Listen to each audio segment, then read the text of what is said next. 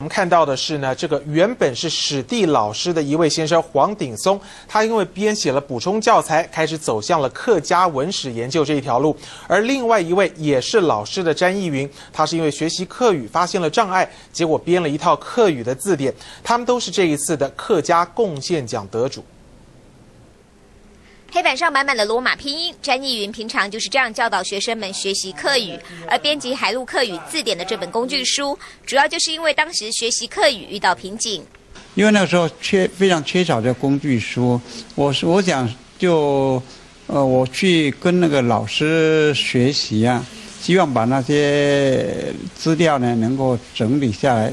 本来是给我自己用的了啊，后来因为。呃，大家觉得很好，觉得说是不是能够把这一份资料也给大家来分享？同样致力在客家传承的还有黄鼎松，书房里他和妻子各居一方，一个做研究，一个以电脑会诊。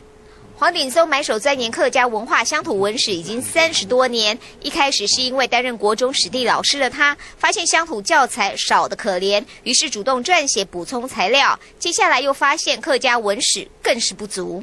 客家子弟。